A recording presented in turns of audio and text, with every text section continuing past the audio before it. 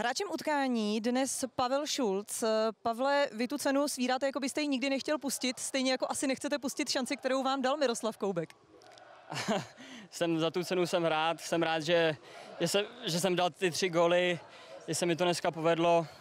Jsem rád, že ty týmové výkony jsou takový, jaký jsou, že i respekt těm klukům, kteří prostě odehráli všechny ty utkání Kalvy, neskutečně, neskutečně makáme a že se nám prostě daří v té lize vyhrávat. Pojďme po pořadě. Váš první gol, ta patička od Durosinmiho, to bylo něco neuvěřitelného. Nebyl pak trošku naštvaný, že jste si ten gol uzumnul pro sebe? Jo, on mi to hned říkal, že jsem mu to, že jsem mu to ukradl, ale já jsem, já jsem bych řekl, že jsem u toho byl trošku rychlejší. Já jsem si v té chvíli myslel, že by to ten stoper ještě stihl ukopnout, tak jsem, tak jsem za to vzal. Ani jsem to takhle jako nechtěl, ale jsem rád, že to tam padlo. Druhá branka, zakončení hlavou, to si asi budete hodně dlouho pamatovat, protože to není pro vás úplně standardní. Jo, já jsem vlastně, do teďka jsem byl na odrazu, dneska mě tam, dneska mě dali trenéři, ať si hledám nějaký odražený druhý balon jako ve vápně. Pak jsem říkal před zápasem Hejdisovi, aby si mě když tak postavil, kam bude potřebovat, že mu zablokuju hráče.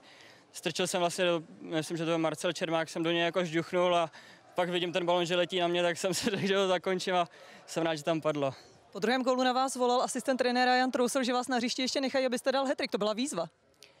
No, tak já si myslím, že Ibra toho měl plný zuby, že, že jsem třeba měl jít dolů za Vlčáka, ale prostě v té chvíli se rozhodli to udělat takhle.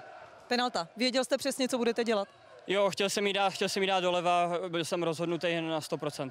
Ještě se zeptám, jestli vám sedí ta multirole, kterou na hřišti hrajete a kterou vám Miroslav Koubek svěřil.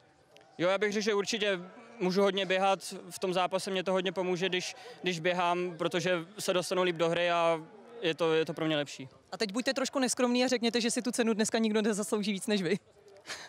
tak když to říkáte, tak ne. a já mám vždycky pravdu. Děkuji za rozhovor, gratuluju. Díky, nashledanou.